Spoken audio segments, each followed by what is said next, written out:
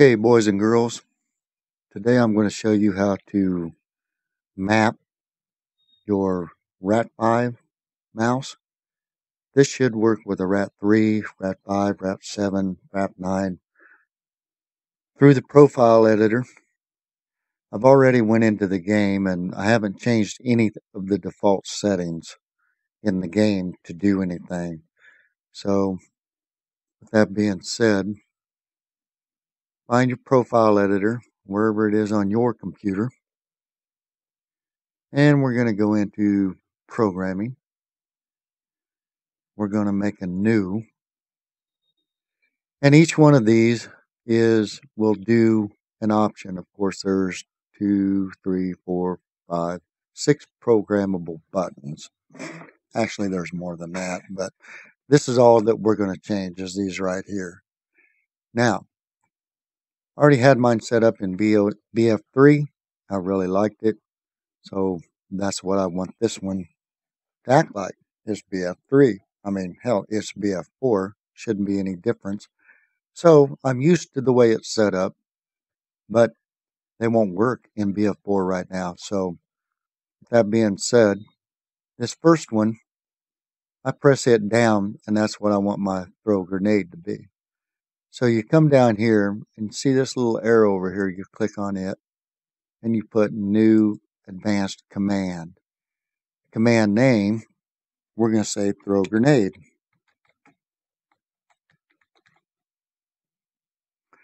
We're going to choose macro. You're going to click in there. Whoop, I better spell throw right. Click in there. Now in the game, in your options, key bindings, it says throw grenade and the default setting is G. So if you hit G on your keyboard, it puts a hit it and release it. You only hit it one time and it hits and releases. So just go ahead and hit the G on your keyboard.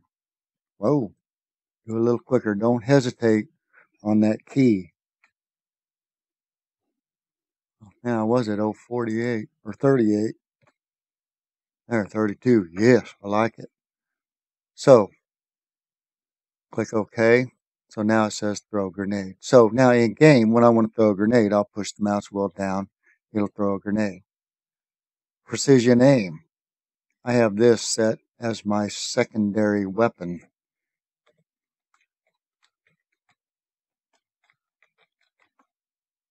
Uh, let's be professional. Come on. Secondary weapon. Choose macro. Click in there. By default, secondary weapon is number two on your keyboard. Now, that's the key, the numbers above the letters, not on your numeric pad. So, up, see if we can get that a little quicker. Yeah, there you go. Save that. Third button. Uh, that's forward button. Ooh, I want that to be my lay, my melee. Choose macro.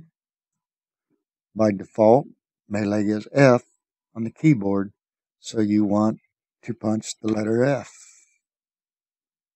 If we can get that any quicker.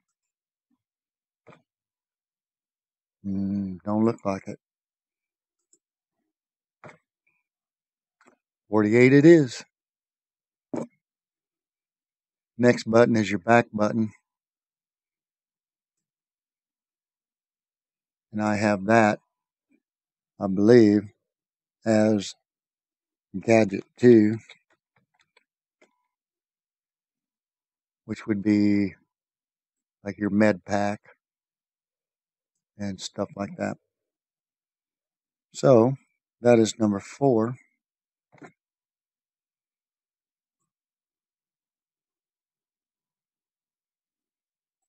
Next one, I want that as my gadget one.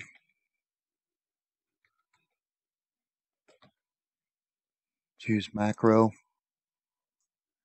By default in BF4, gadget one is the number three close. Ah, let's try to get 48.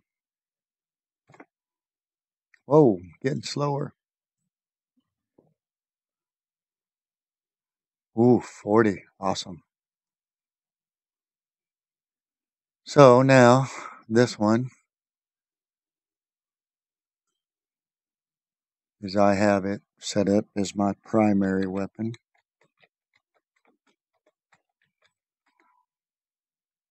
Use macro. Of course, that's number one. Try to get that better. The faster these numbers are, the faster it will react in game. Okay, so now I've programmed all the buttons. We want to save this as whatever you want to call it. I'm going to go BF4 dash 2 since I've already done this a few times. Save that. Activate it. So now you'll notice here that's already done. Profile We'll go BF. Where is it?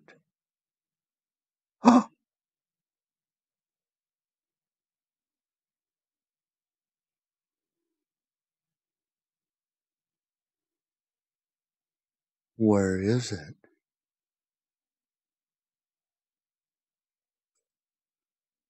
Let's activate it. Test it. Okay, now, if I hit the mouse wheel down, it hits G. Precision aim, the little red button up there. Now I've drawn my secondary. First button, melee, back button, gadget 2. Roll the mouse backwards, that's 3. Roll it forward, that's with your thumb, is 1. Seems to work for me. So, thanks for watching. I don't know if this will uh, actually do in-game recording or not. Let's find out.